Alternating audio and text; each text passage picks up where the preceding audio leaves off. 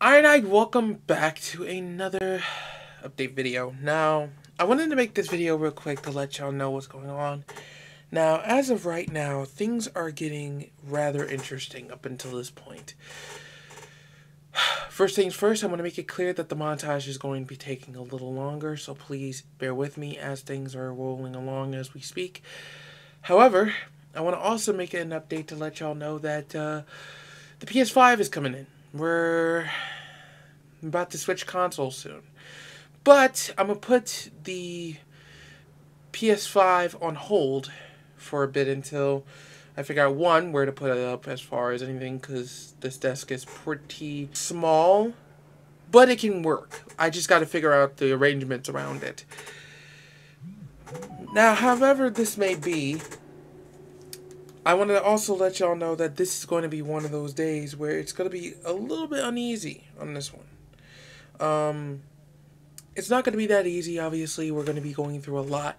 And um, until everything is sorted, I will update y'all no matter what happens in that scenario. So please bear that in mind that whatever happens, I'll make sure to update y'all.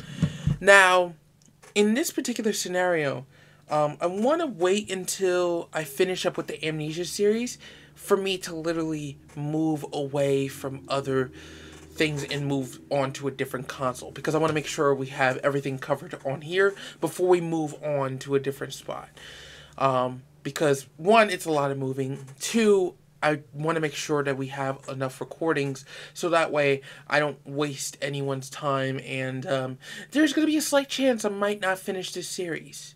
Um, why? Because of the fact that one, we were kind of delayed into the game, and then two, um, Amnesia took too long to fucking record, and I was wasting too much time um, procrastinating and coming up with another idea for the Z Incorporated series. So um, there's a slight chance that I will not get finished anyway. So, nevertheless, um, whatever happens, happens. Um, but anyways, um, hopefully everything goes through, and I'm super excited to see how everything goes.